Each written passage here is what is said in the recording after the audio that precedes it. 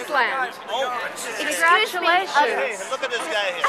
Oh, there we wait a minute. Did someone tell you a little pink plastic bag was uh, what you're supposed to carry on Oscar night? This is my man bag. This is my man bag. It's a movie It's about gotta look good. It's a recycling. movie about recycling. You know, I can't throw it out. I gotta story reuse it how and this reuse gentleman it. came You know? to be here tonight. That's what it is. You don't like it? You want it? No, no, no. It's a man bag. I can't touch it. It costs a lot of money for the Beverly Hills Hotel. I, I can tell. guys look like you're having fun. We're having fun. Oh, we're having a good time. Long journey. Now, why didn't you do your hair just like his? Everything as good as it could be. It's a dream come true. Be here with Tião as my date, and Vik Muniz, and our producer Angus Aynsley. It's a dream come true. There's a woman director to be here.